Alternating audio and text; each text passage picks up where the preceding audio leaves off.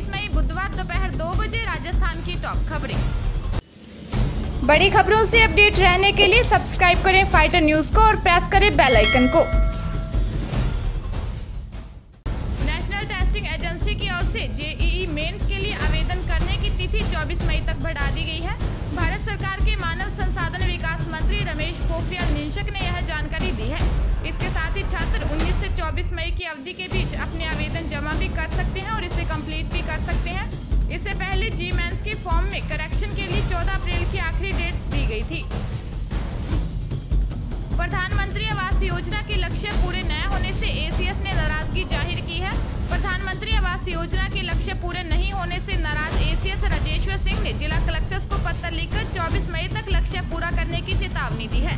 इस लापरवाही से शेष परिवारों को योजना से वंचित होना पड़ सकता है। अनिवार्यतः आवास सॉफ्ट पर सहमति पत्र दर्ज करने के निर्देश दिए हैं।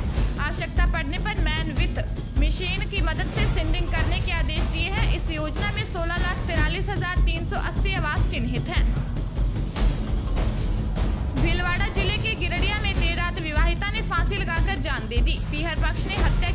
जताई है। एएसआई मथुरा सिंह ने बताया कि सीताराम खरोल की पत्नी माया देवी के बीच घड़ी बांधने को लेकर विवाद हो गया। सीताराम घर से बाहर जाकर लौटा तो दरवाज़ा अंदर से बंद था। आवाज़ लगाई तो जवाब नहीं मिला। इस पर दरवाज़ा तोड़ा तो माया कमरे में फांसी के फंदे पर लटकी थी। इधर पीहर पक्ष के लोगों ने हत्या की आशंका जताई है। भीलवाड़ा के चित्तौड़ कोटा नेशनल हाईवे 27 के पॉइंट नंबर नौ सौ निन्यानवे पर करीब 13.50 मीटर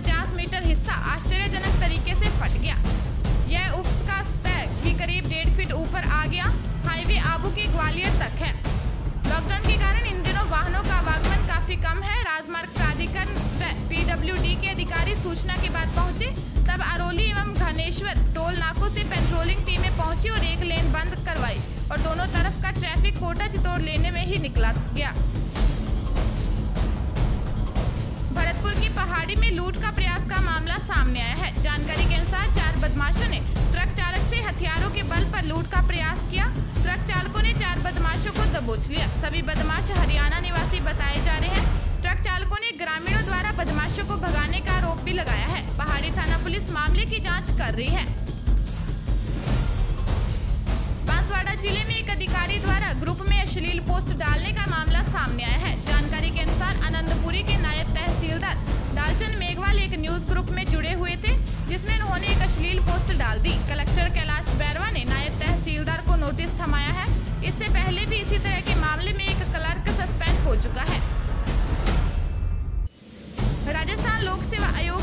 वर्ष नवंबर में आयोजित मत्स्य और सहायक मत्स्य अधिकारी समीक्षा परीक्षा 2019 का परिणाम घोषित कर दिया है। सचिव आशीष गुप्ता ने बताया कि मत्स्य विकास अधिकारी समीक्षा के तहत 18 और सहायक मत्स्य विकास अधिकारी समीक्षा परीक्षा के तहत 30 अभ्यर्थियों को अस्थायी रूप से साक्षात्कार के लिए सफल घोषित किया गया है। अभ्यर्थी 2 जून तक विस्तृत आवेदन पत्र भरकर दस्तावेजों के साथ आयोग कार्यालय को भेज सकेंगे। आवेदन मिलने पर इनकी पात्रता जाँच होगी। घालमेल के आरोप में एक कानून को निलंबित किया गया है, राठौड़। ग्राम पंचायत ने रायपुर गाँव का राशन डीलर ग्रामीणों को राशन देने में गड़बड़ी कर रहा था। जिसके संबंध में ग्रामीणों ने उपखंड अधिकारी, जिला कलेक्टर और डीएसओ से शिकायत की थी, लेकिन इस मामले की जानकारी मिलने के बाद कानून को कुलदीप चौधरी ने शिकायतकर्ता के साथी से राजीनामा करने के लिए इक्यावन सौ और पार्टी की पेशकश की, जिसका ऑडियो शिकायतकर्ता ने वायरल कर दिया था। उक्त प्रकार की खबरें मीडिया में आने के बाद प्रशासन निलंबित कर दिया है।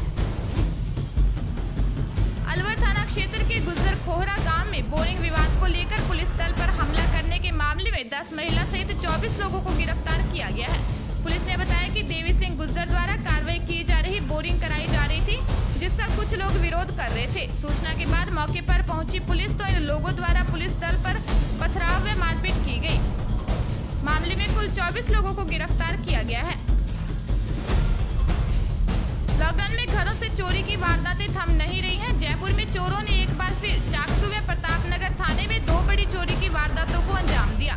खेड़ी बुज़ुर्ग गाँव में ओम प्रकाश शर्मा के मकान से चोर अलमारी में रखे बत्तीस हज़ार रूपए, चार सोने की चूड़ी, सोने का हार तथा अन्य सोने चांदी के जेवरात ले गए। इनके अलावा चोर आटा चक्की व इन्वेटर को भी खोल कर ले गए। सूचना पर पहुँची पुलिस ने प्राथमिकी दर्ज कर जाँच शुरू की है।